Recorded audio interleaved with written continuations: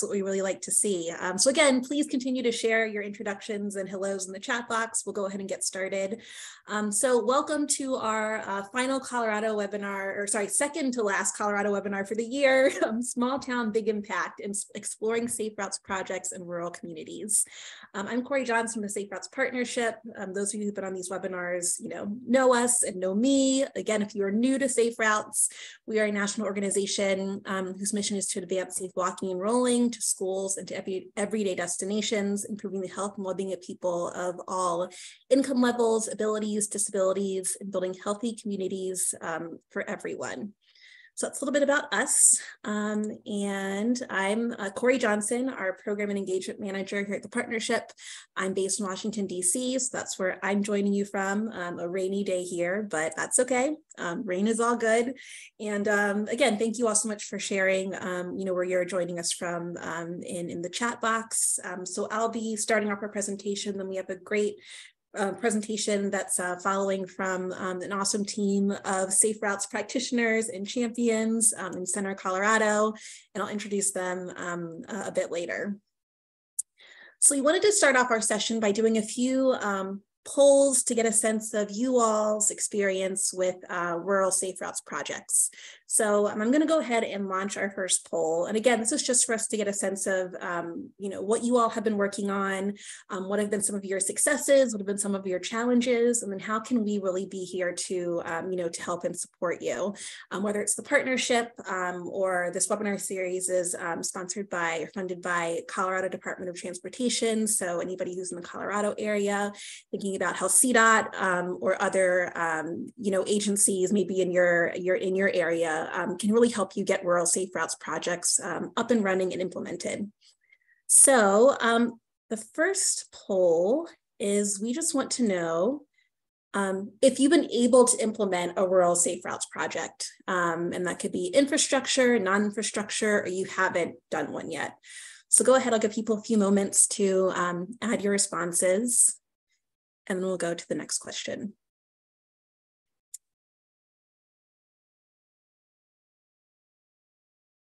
You know, take about 20 more seconds.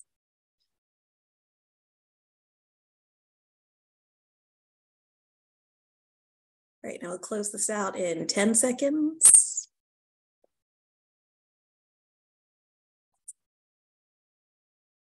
Um, all right, so it looks like uh, we've had some people who've been able to do some non-infrastructure projects. Um, a few infrastructure projects have also been implemented, um, but a lot of people who haven't done one yet. So um, that's totally fine. You know, we hope that, um, you know, by the end of this session, you'll have some new um, ideas or inspiration for, uh, for how you can successfully implement a, a rural safe routes project.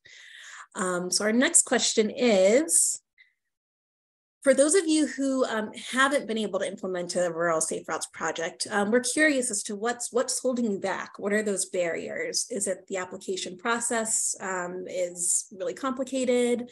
Um, matching funds, we hear that that's um, you know a, a, major barrier for for rural communities, smaller communities. Is it lack of staff time, capacity? Is it data collection? Um, just unsure of how to get started.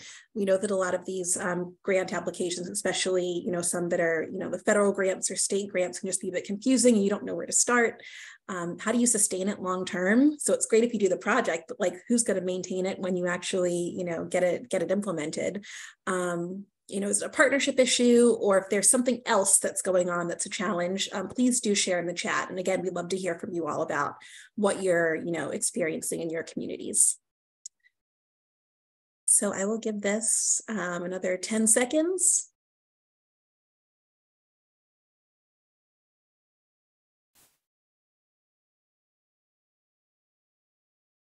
All right, so this one's a bit more evenly split. Um, so all kinds of challenges. Um, a lot of people who are just not sure how to get started. Sustainability is always a you know a tough one. Um, you know, trying to engage your partners um, and even connecting with the right partners can be a can be a big barrier, and we understand that. And I'm going to take a peek in the chat to see if anybody else added anything else.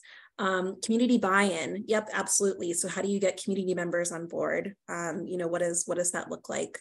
Um, not having county sponsorship, you know, working with, um, you know, community members, um, city councils, town councils, um, you know, that can be a barrier as well. Um, okay, and then our last poll, um, and again, please feel free to continue to share in the chat box.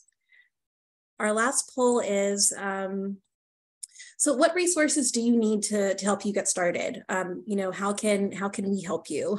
Um, whether it's, you know, get people at the partnership, maybe people at your local, um, you know, agencies or organizations, um, you know, how can we be of assistance? We really like to hear from you all about, you know, what what you need from us. Um, so take another 20 seconds, let us know. Again, share in the chat if there's something on here that's not listed.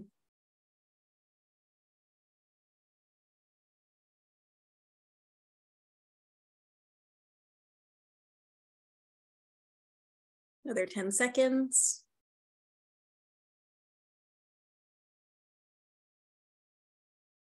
All righty. So again, it seems like a mix, um, whether it's grant writing assistance, um, assistance with planning. There are a lot of grant projects that require you to have some sort of safe routes to school plan or transportation plan. So there are people who need help getting that plan together. Matching funds, always a big one. Um, community engagement, it seems like that's, you know, uh, one that's coming up a lot. Um, and I know that the Town of Center team, they're gonna talk a bit about some of what their community engagement has looked like in their presentation. Um, and again, please feel free to add those in the chat box as well. Um, thank you so much for sharing. So we we we hear you, and um, we really want to you know get a sense of again what you all are experiencing, so that we know how to support you. Um, so please continue to you know share in the chat, um, share ideas, share resources. We're going to take this back and you know take a look at it too as we think about developing new webinars um, and and and new resources. Um, so more to come from from us. Um, all right, so just a bit about um, about safe routes in rural communities, um, why we wanted to have this be a focus of one of our webinars. It's something that um, a lot of you all have been asking for. Uh, people have been asking for ideas and support around implementing rural safe routes projects. We know here at the partnership that projects are possible, um, that funding is available, um, especially a lot of the new infrastructure funding. That's a great opportunity to get some things um, up and running in rural communities. And there are people who are you know, around who can help you navigate this process. Um, so again, while this is one of our Colorado webinars, we might talk about about, you know, Colorado agencies, um, you know, CDOT, um, you know, even in your community, there's, you know, your local transportation or planning department, um, a local organization, community champions. Um, these are people who, you know, can help support you um, through this process. And I think that what you'll learn, especially from the Town of Center's presentation, is that this really is all about teamwork and kind of an all hands on deck um, experience. So, you know, like you, you'll need those people and those partners to implement your projects. Um, we also know that this is an equity issue. So, you know, we often talk about, um, you know, the impact of, um, of uh, you know, um, inadequate infrastructure um, or safe routes programs um, in communities of color and rural communities. Um, and there are plenty of people of color who live in rural communities. So we know that um, communities with marked crosswalks um, tend to be, you know, higher income. Communities with sidewalks tend to be um, tend to be higher income.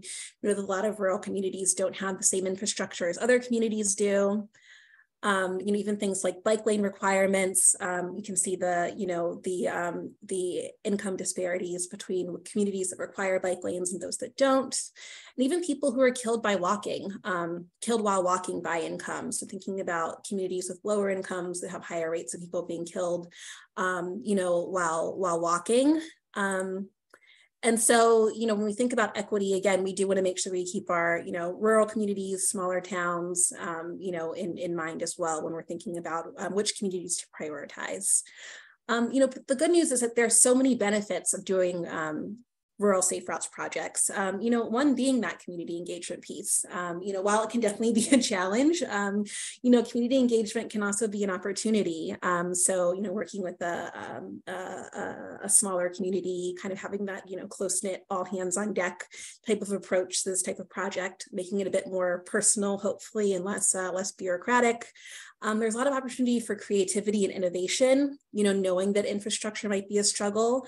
You know, how can you kind of build in those, um, you know, creative or innovative ideas that might not be possible other places?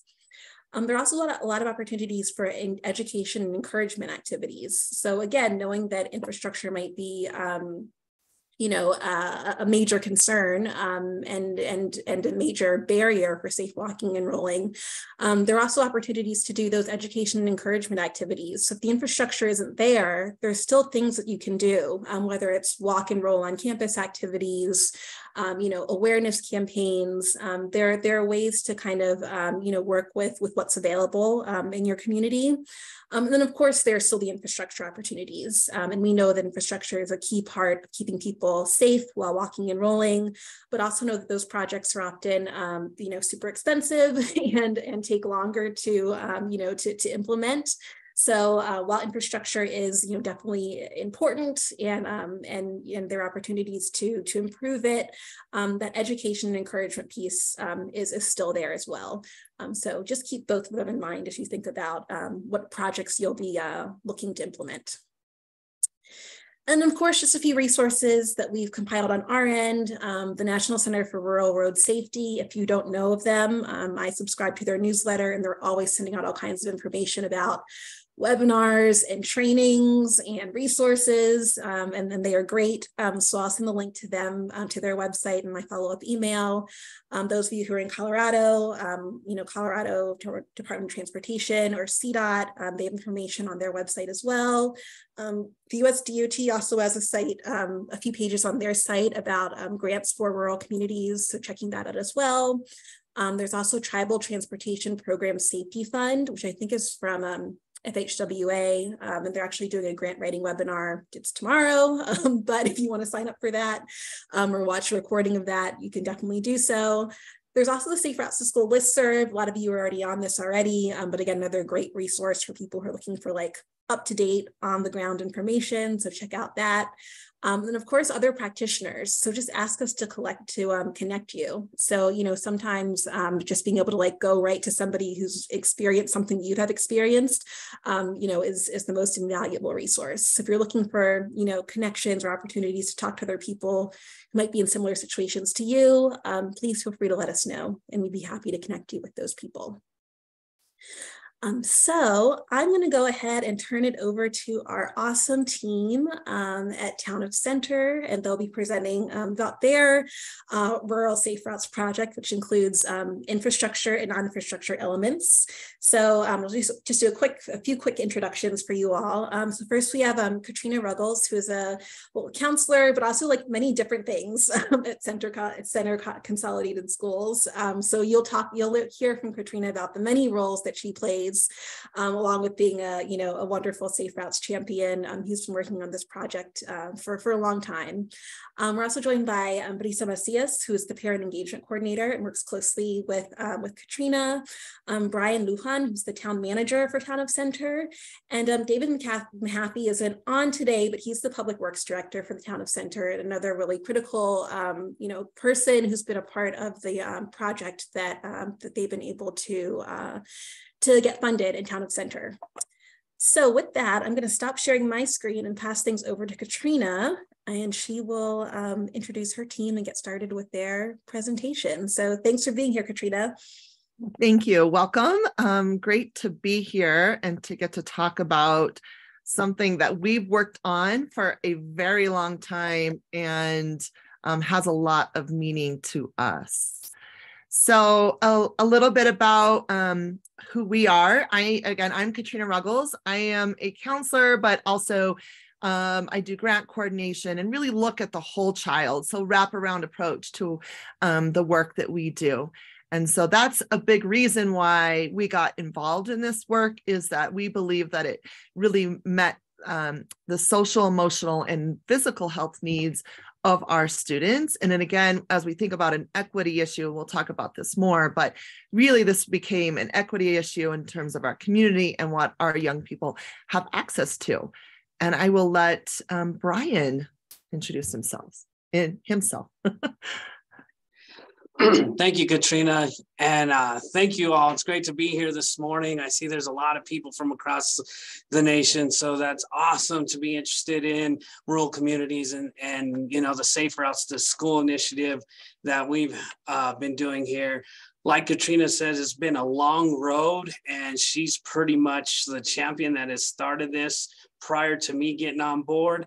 Uh, but I'm Brian Lujan. I'm the town manager for the town of Center. I have been the town manager since uh, late October of 2017 and quickly jumped into this project in the coalition early 2018. And we've just continued to strive uh, to, to get things going and moving along. Uh, and it's been a lot of persistence and, and getting a lot of people involved to that are the decision makers in this. And then I'll pass this on to Brisa. Hello, everyone. I'm Brisa Macias, and um, I'm the parent engagement coordinator for Center, Center Schools, but I was also the SRTS uh, coordinator. I'm glad to be here with you all. Yeah, so prior to becoming our parent engagement coordinator, which was a really natural transition, um, Brisa was our first um, coordinator, uh, and we'll talk a little bit about that, and she'll get to talk about that process. So um, we're I'm thankful that she's still here engaged in our project so that I could ask her to join us. so a little bit about the town of Center. Um, we're located in southern Colorado um, in what's known as the San Luis Valley, a high mountain uh, region. It's a flat area surrounded by mountains. Um, we're pretty uh, high elevation, I think what 7,500 feet around there. Um, we're a small town. Um, we can vary from 2,500 to you know about 2,800 people in our community. Um, about um, of our student population, like 97% qualify for free and reduced lunch, meaning they are at a minimum 130% below the national poverty line. And so most of our young people and our families um, struggle with a lot of challenges that come with those so- socioeconomic conditions. We also um, we're about um, 90% Latinx, 2% um, uh, Black and about 3% um, Native American. So most of um, our families and community have really experienced systemic marginalization and discrimination. And a lot of what we're dealing with now is because of a history of a lot of that. Um, a lot of that. In addition, um, about 25% um, of our student population qualify for McKinney Vento, which is um, home, uh, a homeless definition. And then also we have a highly migrant population, about um, 15% of our population. So lots of many, uh, lots of challenges in our community. Um, also a great place to be and live and work. I've been here um, 20, five years, I think, a long time. I've been here at the school and I love the work that I do and I love um, the the community and we've really seen the needle move and this has been a part of a bigger picture focused on uh, like I said educating the whole child. So a little bit about our beginnings. Uh, we actually I don't even know that I knew about Safe Routes to School at this time, but I was contacted. We were contacted by CDOT. In fact, I think it was my superintendent, and he threw it over to me. Um, we were contacted by CDOT to say, "Hey, are you interested in a five thousand dollar grant around, um, you know, a planning grant to get started with Safe Routes to School?" And they provided some technical assistance and um, helped us along the way. So at that point, I was appointed a, appointed a coordinator. I was leading I'm still doing this, but I was at the time leading our wellness committee. And our wellness committee was a group of people, um, administrators, teachers, staff, um, uh, other staff, parents, and community members that were focused on that idea of um, the whole child. And so uh, I was leading that. And so I kind of took over as a coordinator and we started maybe like what I would call a subcommittee of that larger committee focused on safe routes school. And this was the beginnings of our coalition. And at that time, we invited the town manager, also the police officer, um, and we started meeting I remember we had our first meeting and we were talking about some of the challenges in the community. And one of the things that came up is that we had no crosswalks in front of the school. I remember the very next day, the town painted um, crosswalks. It was pretty funny. But at any rate, uh, we were like, okay, that might be important. So um, it was just, it was a good partnership. And everybody was interested in this idea of not only addressing, um, you know, some of the, the town needs, but also our school needs. We really bought into the idea that um, When our students are healthier, they do better academically, and walking and biking to school is a part of that. And real, and also having pride in our community helps promote pride within our school. Our student population, about 50% um, met obesity, were um, overweight or obese. And so according to our nurse uh, data and that that is a problem. And so something that we really are working to address and that fits this work fits into that as well. So we um, we have a district wellness policy and we incorporated safe routes to school into our wellness policy and included a requirement to promote uh, um, safe routes to school to have it a part of our wellness work. Um, we also um, started uh, teaching about walking and biking and the benefits and bike safety in our health classes.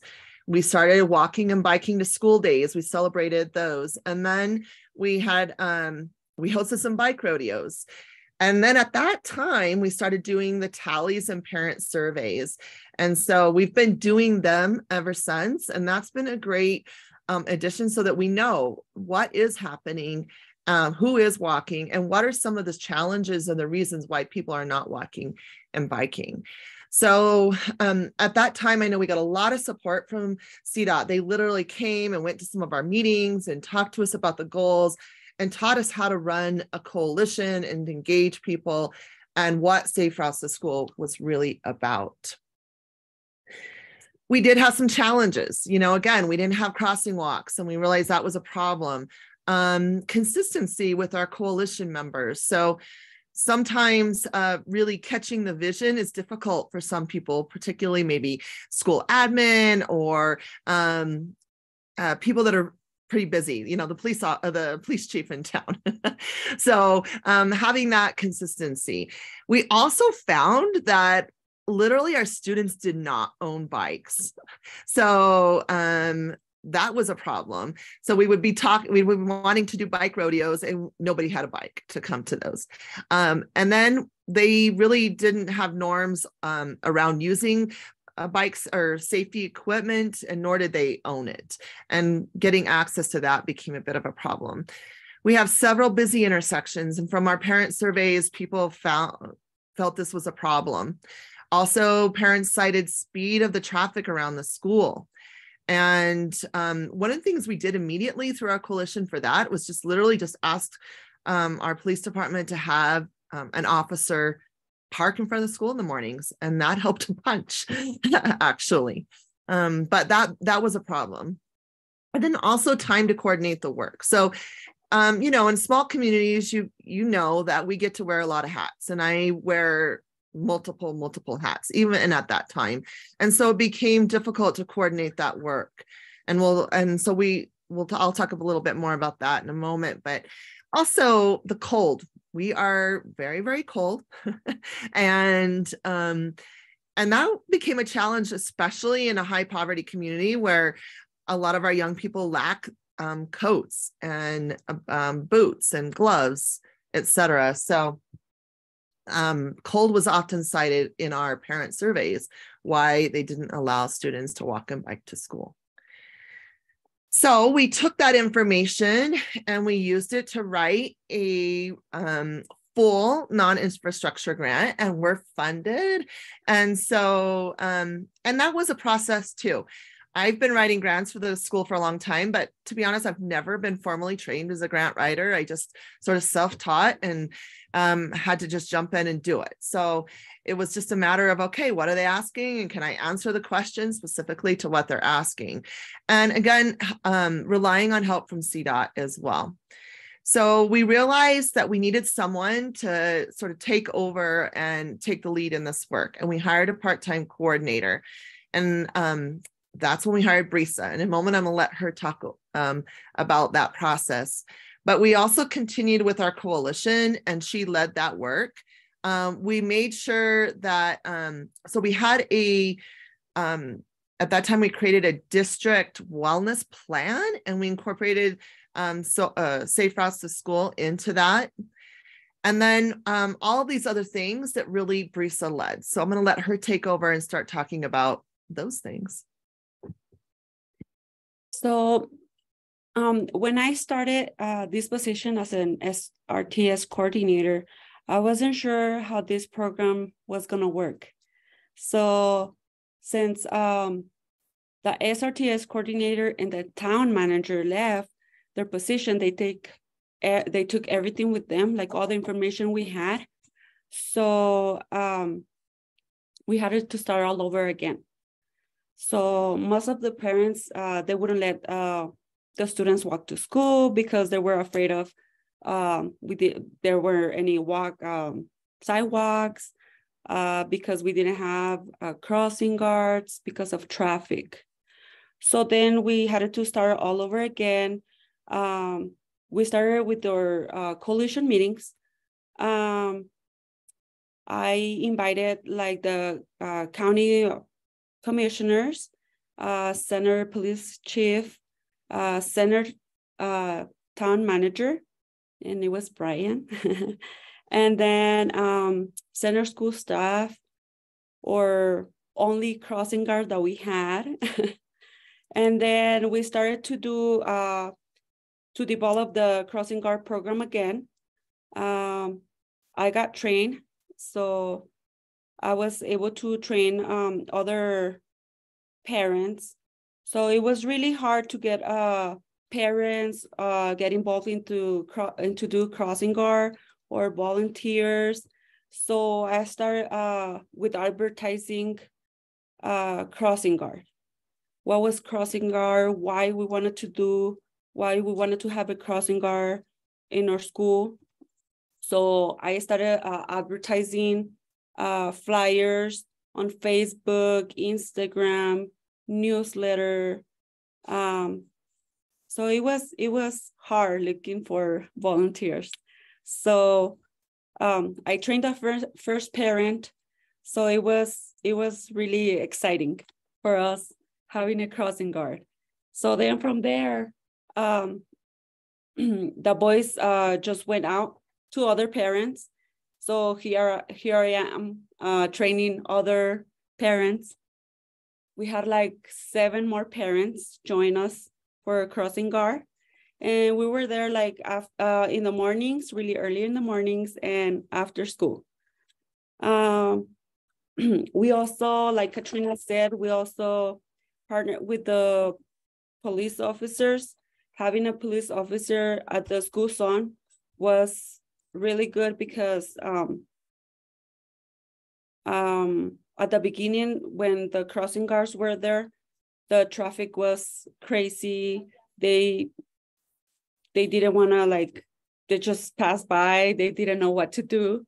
So it was pretty amazing seeing um, how they were doing different. And then um, we also develop uh, walking wednesdays so we make a big banner of walking willing wednesdays uh, so we can like advertise so they can they knew what was going on at the school. Uh, we had uh, more students walking and biking to school because we were giving them uh, PBI, PBIS points. And these are like little incentives that we give, uh, we give points to the students if they walk to school. And then we will, we have like little stores with pencils, pens, notebooks, erasers. So they will be able to buy this stuff with their biking points. And then we also uh, create an after school bike and skateboard club. So we did one once a week these uh, programs. Uh, we did different lesson plans uh, like helmet safety, signal safety, and we also took students around town um, on trips to do to have them put their skills um, into tests to see if they were learning something. and then we did this, uh, we do this like during school year, but we also do it in, in the summer. Um, like Katrina said, we didn't have any bike, the students didn't have any bikes, so we start getting bikes like from jar sales, and then uh, like people start donating like more bikes or helmets or there will be like programs. We'll take the students to the programs and they would get a bike new bikes or um then we start doing like um we had like more of the community and parents involved into these programs. So it was it was really nice seeing everybody involved in in in the programs. We also had like bike rodeos once a month. We have different activities. We had prizes and and then we also had the national walk to school day in december. And then national walk we had the national walk to school day and then we continue with some of the programs. Um, it has been a big asset to our district having these programs for our students. And now we can see like the difference since we when we started until now. So I think that's all I have for for now. awesome, Brisa. Everybody should have a Brisa. So you see what having a coordinator did for us. And at this time, she was only part-time and was helping with other kinds of work. And um, so but we also had some challenges right Safe, the safety still remained a concern of parents uh, again struggling to recruit crossing guards particularly in a high poverty community um, we also we started getting bikes donated and going to yard sales, but maintenance of those bikes and also storage. We had no place to store them. And then helmets um, became a problem. We also, at that point, were really because safety was an issue. We we felt like we need to apply for an infrastructure grant, but there was some pushback from the town of Center at that time, and mostly, I will tell you, because um, of the match requirement. And so that's a huge, huge is- issue. And so we wrote another um, non infrastructure grant. We actually had the infrastructure grant pretty much ready to go. And kind of at the last minute, the the town decided no. And again, it was really mostly that that um, match issue. At this point, actually, be, prior to this, um, Brian wasn't on our committee. It was another town manager. And we had a little bit of a turnover in town managers. But then we got Brian. So that's made a great difference about this point in time. So we got our um, next non infrastructure grant, and we were able to uh, make Brisa full time. And then at that point, we continued with the coalition. I think we really, um, we also brought in our town. It's kind of weird because the road runs through it where we are um, split between two counties. And so we were at that point, we were able to bring on um, our county commissioners from both counties and get them to really engage. Um, we put that goal in our district health and wellness plan, um, continue to develop that crossing guard program. Um, Brisa mentioned the merit program, really um, expanded that so that um, students could get um, what we call Viking bucks. Our school is the Vikings for walking and biking to school. We expanded the bike fleet, um, purchased um, a storage for them, continue with bike rodeos. Um, bike and uh, after school bike and skateboard club has been super popular. That skateboard club really came out of a desire from the students. They were like, Miss, we want to be skateboarding to school, you know. So, uh, however you might feel about that, they wanted that, and so we decided we better teach them a few safety things. And then we worked hard on that infrastructure grant for the next couple of years. It was, we met monthly with our coalition and it was just an ongoing question uh, or ongoing work. Um, so then, um, but over those two years, we still had some struggles. Again, you can see some safety issues in these pictures. Um, and then also staff turnover. So at that point, um, Brisa became my parent engagement coordinator. So that's amazing. It's awesome. Um, and she still helps recruit and um, even do training. She's helped me train every new person we've had in the in the position. But a, a little that also creates a challenge. Politics. So, you know, there's town board elections, there's school board elections.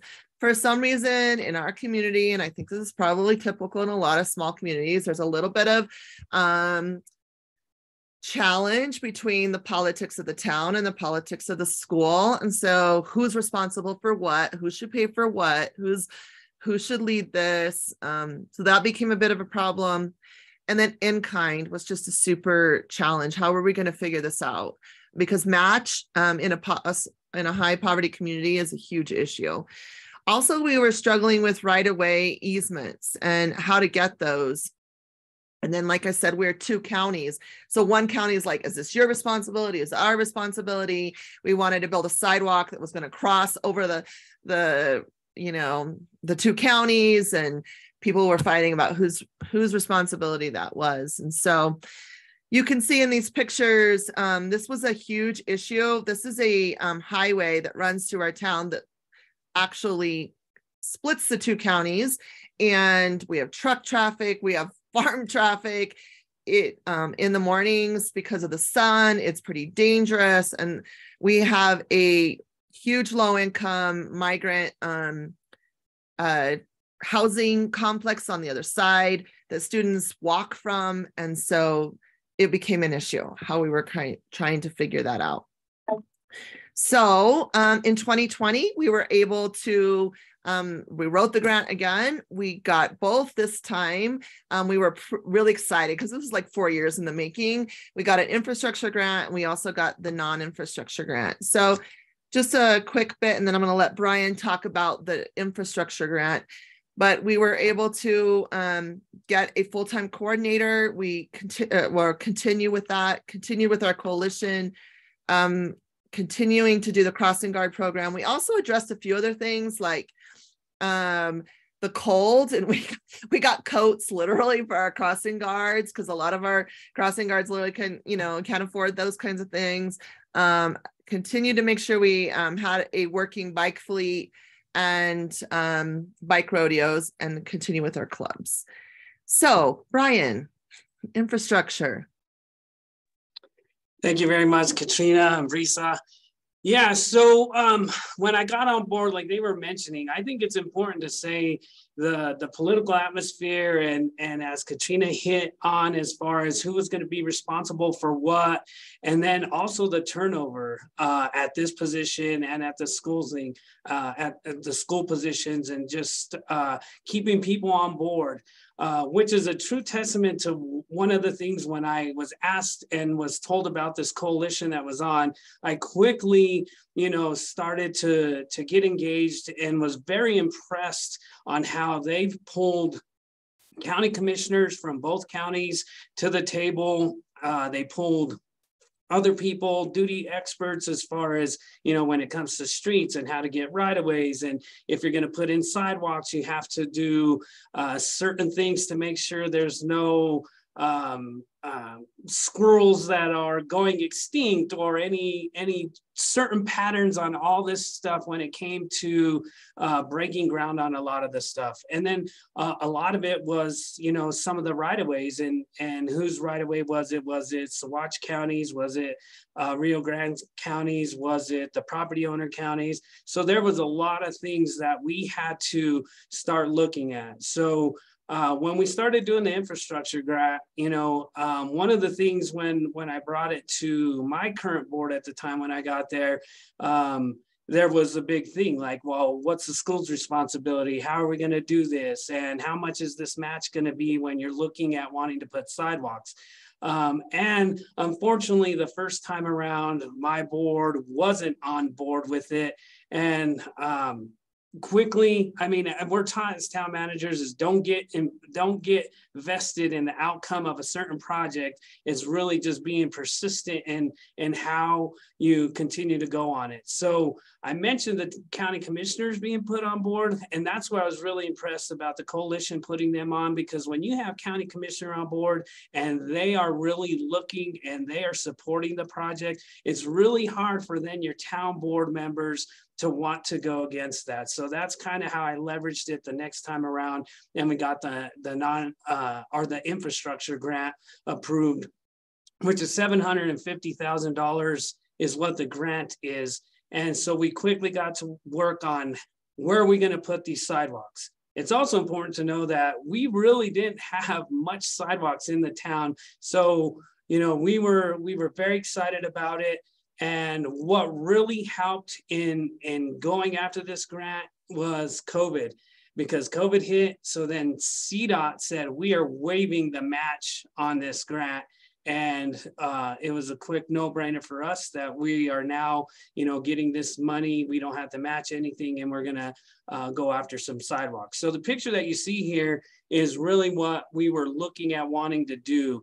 And it's really from our main street. It's called Worth street up to broadway which which is the school. So if you're looking at that big picture just um, I guess it would be to your left as you're looking at the screen of where all the pink is, that's that's the school. So that's walking to the school from our main business district street. And the project would consist of sidewalks, signage, crosswalks, striping, and ADA um, and the public right-of-way accessibility guidelines. So all that was going to come into play. Um, but then we quickly found out uh, I think uh, Karen from Montana had mentioned it was an easy process before. Now it's a little bit more complex and that there's strings attached to it. So we found that there was some CDOT red tape. So the 750,000, there was some red tape with that. So we didn't really have that amount of money to go towards sidewalks. Next slide, please. Katrina, can I get the next slide, please? Yeah, so then we looked at um, uh, this part here is once we realized, okay, well, we're not going to have that much money uh, in a sense because of you know certain aspects that CDOT requires you to do. There's some engineering involved. There are some flaggers that are involved to stop traffic while you're doing the projects. And so the sidewalks would consist from our Worth Street, which is our main business district, to Broadway. And we were looking at uh, originally a sidewalk from Tia Nueva housing uh, district um, or housing area across Highway 112, which is that pink line that goes down from the school to the bottom of your screen there. And that was the intersection that Katrina was talking about where it's real heavy traffic. It runs east to west. So in the morning, you know, people driving into town, the sun's in their eyes. And then in the evening, people driving out of town, the sun's in their eyes. So it was a real safety issue going on there. And that's where there was a lot of the right of way concerns and who owns what and how are we going to do this and can we get permissions on it. So we looked at doing uh, sidewalks on 5th, 6th, and 4th Street as far as that infrastructure we felt like we can we can do this in two parts of a of a infrastructure grant. We would take care of this side of the town as you get to the business district to the school, and then the next time we would go from the business district to uh, the rest of the town, uh, so that way they can make it up through there. Next slide, please. So this is just more of a broader above picture of that intersection that we're talking about where you have potato trucks, tractor trailers, all this because of the industry and the industrial areas that we have with our potato warehouses and our farming warehouses. Um, so the, the biggest thing that was concerned with it was how do you get it across and how do you, how do you make it safe? And it's still somewhat a little unsafe in a sense where in the mornings we've had a police officer there with the lights on as they're crossing that particular side or a crossing walk that you see in the picture. Um, so another project that the infrastructure grant is going to do is going to consist of a rapid rectangular flashing beacon, you know, uh, with the crosswalk, uh, with appropriate signage that people will know to go across 112. And originally I had, I had a request from CDOT to try and get rumble strips, uh, which are the grooves that are cut into the pavement uh, prior to this intersection. It just kind of wakes people up and slows them down. But again, there's red tape involved with CDOT unless there's high accidents that are involved at this intersection, uh, or if there's that data that is uh, uh, put into play with this intersection, those are the things you can't just put certain things there.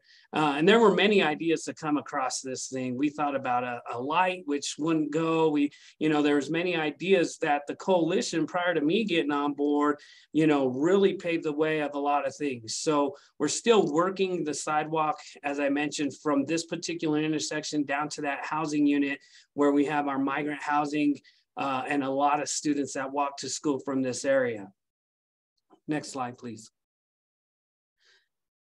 Yeah, so we found, uh, once we got done, we found that, uh, and we had CDOT come down and, and we had some people come and we walked this site. We found that there really wasn't a need for the curb and gutters because we don't have a drainage system. So it was gonna take a little off the costs of, of of the monies that we were going to use to put in this sidewalk infrastructure. So now we're looking at actually Sixth Street, Fifth Street, Fourth Street, and some a third, as long as the budget is going to allow with it. So the more that we can get involved on it, the better that it's going to be.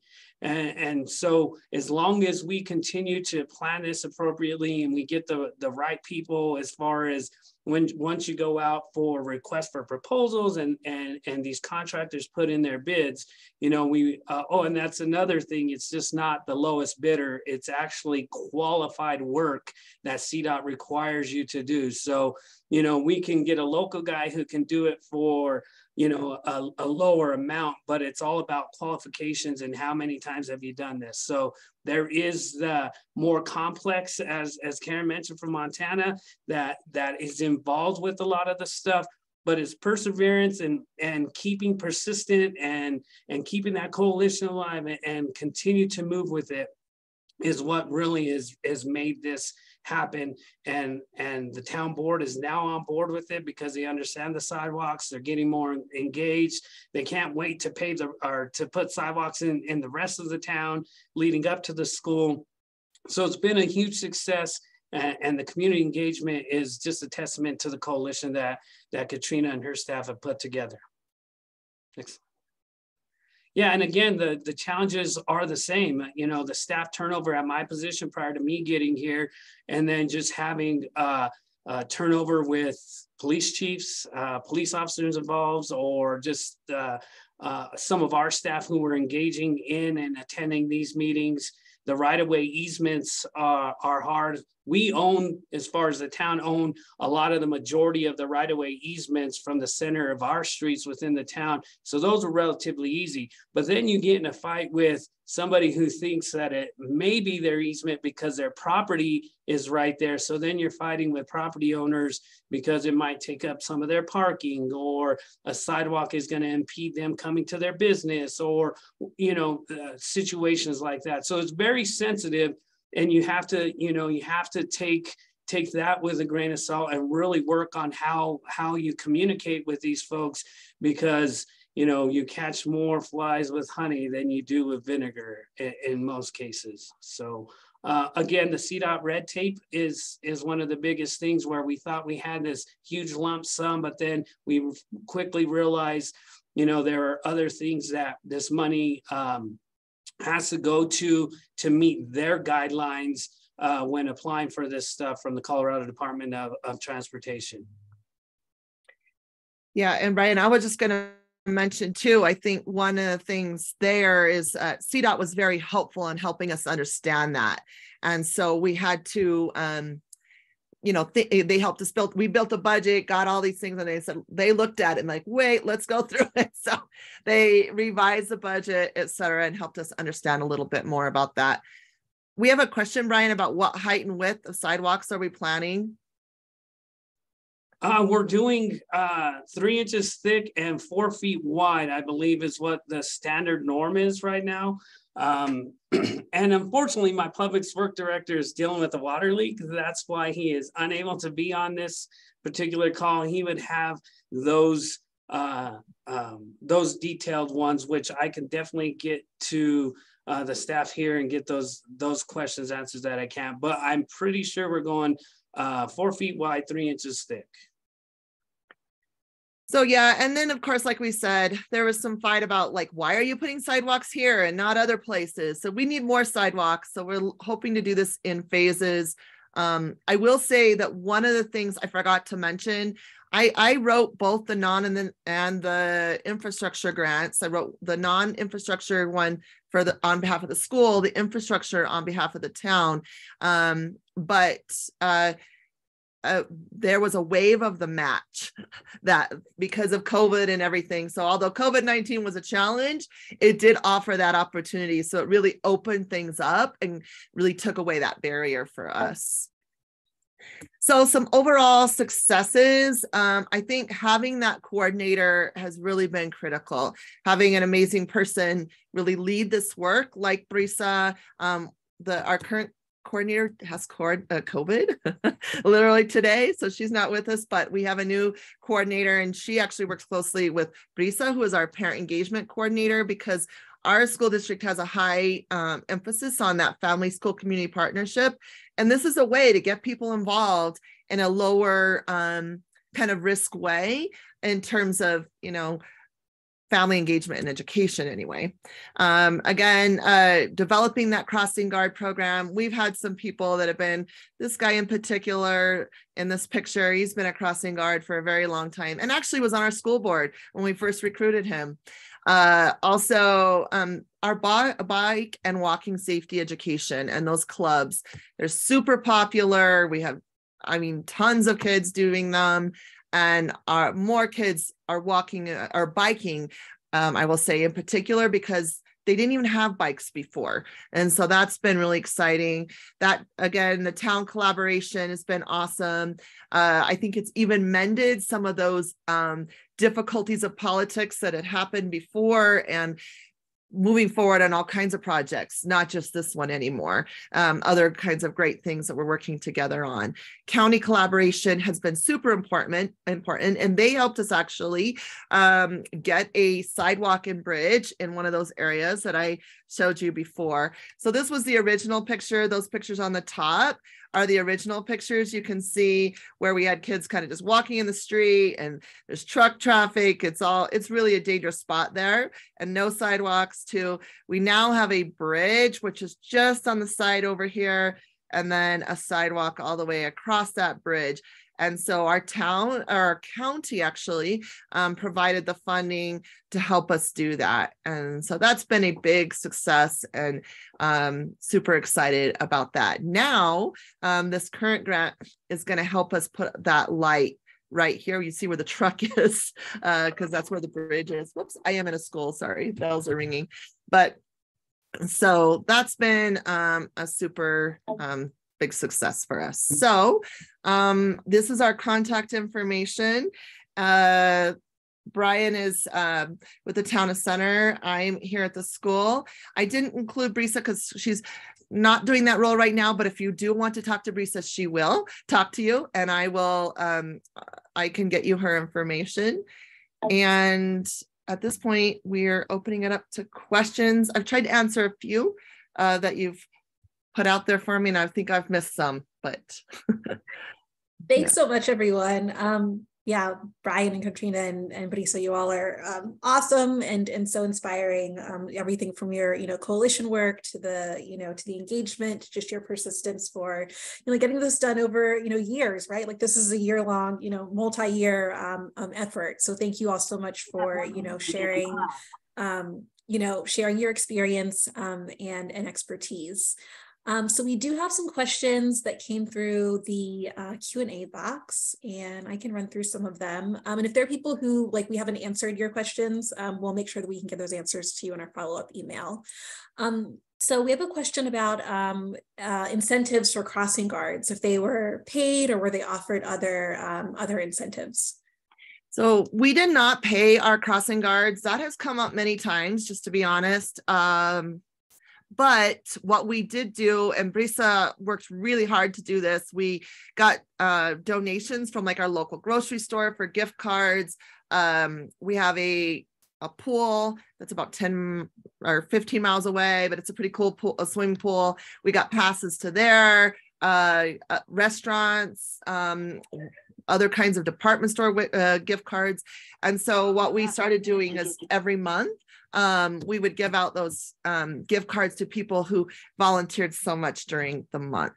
So that's how we've done it so far. I think ideally I would like to be able to pay our crossing guards, also given the poverty in our community, just to be honest, but that mostly worked. Got it. Yeah, no, no, those are great ideas. Thinking about, yeah, you know, that that creativity and you know, kind of thinking about different ways to to compensate people. So thanks for that. Um, do you have any data on how many kids are walking or biking regularly now compared to like you know seven or eight years ago when you when you started? Yeah, so um, we've been doing the tally, and uh, I I will tell you that um, I wish I had it off the top of my head because uh, I don't. I'm like, well, why didn't I look that up? But at any rate, um, we do definitely have more kids walking and biking. I will say that initially we went up a lot at first, then COVID hit, and obviously, like school wasn't even in session for a little while. And I have to say, when we came back to school with COVID, I felt like we were starting over a little bit. Like we dropped again, um, and numbers dropped. Um, so uh, we are definitely higher, but it's been a roller coaster. It hasn't been like a straight path. So, yeah, I'm sure there are lots of communities who are in very similar positions. So we yeah, I'll understand what that's like. Um, were there any conversations around cost analysis from walking versus busing? Um, you know, thinking about there are a lot of communities that have school bus shortages, um, but there are a lot of students who also need to be bused to school because they live so far away. So I'm just curious if there are any conversations around cost analysis. Well, that would be great. We haven't done an actual cost analysis. I'm like, I should do that. But we have definitely had the conversations about that because we are in the same boat. We cannot get bus drivers. And so I think it's that dual benefit. We've talked about the physical wellness, also just the idea of walking and activating the brain before school. Um, so we've talked about that with our administrators and our school boards, but also the idea of reducing cost um, by having um, fewer buses. I think previously, when, you know, in a small community, um, we are the primary employer. So there is a little bit of that push pull like, are we taking jobs away? Or, you know, having a uh, cost savings. I think initially when it was like there were enough bus drivers and we were okay, that was a little bit of an issue. Now we can't fill bus drivers' positions. So I think unfortunately that might work in our favor, I guess. Mm-hmm. Thanks. And um, I think this might be our final question. Have you been able to do any driver education? I know you've mentioned like, you know, the the trucks that are rolling through or just a lot of traffic, um, you know, that's that's coming through the town. So have you done anything with driver education? No, good, good, op- good idea. like this whole presentation has been just a bunch of sharing of different ideas and you know sparking our imagination so okay um, if anybody else has any other you know final questions um, please feel free to put them in the chat box and if we didn't get a chance to answer anything we will definitely make sure we can answer it afterwards yeah. um, you know, yeah, I did ahead. want to mention this last thing here, though. Yeah. We do have a promotora model in our community, actually, and we have promotoras that help us promote the program. So currently, we pay them a stipend, and we do home visits, we do phone calls, uh, uh we do booths and tables, and we have a promotora at each school level um, who then uh, like they they do a variety of things but also for our safe routes to school program. So they help us not just pro, uh, recruit crossing guards but promote the idea of walking and biking to school. So um, we do also use that model. Awesome. yeah there there was also another question and it seemed to disappear and i'm not sure if you answered it but um, it was about where did you get the funding for Brisa's position oh yeah i think i mm-hmm. answered it but that was from the non-infrastructure grant that was through cdot Correct. Okay. Mm-hmm. Yeah. Yeah. So people had questions about where the grant funding was coming from. Um, Town of Centers received a lot of support from CDOT, um, you know, both with the, you know, grant funding and then also just support around, you know, how do you do this? how do you apply? What can you do? What can't you do? So we want to shout out our, uh, our, our CDOT partners as well. Yes. Um, well, thank you all so much. Um, again, a Town of Center team, um, so inspiring, so helpful. Thank you all so much for you know sharing your your time and energy and expertise um, and experience. We really appreciate you being here with us today. Um, for our participants, we will be sharing a recording of this webinar um, and the slides. If you missed anything, those will you know be coming out tomorrow. And if you want to follow up with uh, with Brian or Katrina or Brisa, their information will be there as well.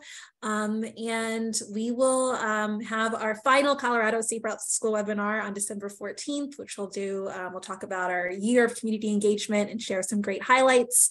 And then we, will be back in January with a whole new webinar series. So more to come. Um, we're, we're glad that you all are here um, and, and with us. And thanks for joining us today. And uh, we will see you all next time. So thanks so much. And thank you to Brian, um, Brisa, and Katrina. Keep us posted on how things are going too. We're excited to see how everything unfolds um, in, in center. So thank you all so much.